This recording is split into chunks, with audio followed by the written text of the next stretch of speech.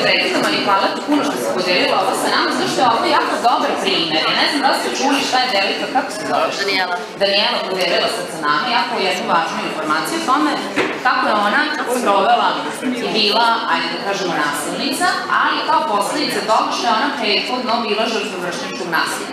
Ono što se jako često dešava, apropo vršnjačkog nasilja, jeste da se uloge menjaju. Žrtva postaje nasilnik, nasilnik u nekom momentu postaje žrtva. To je uobičajeno kod psiholoških igara, a vršnjačko nasilje je ozbiljna psihološka igra.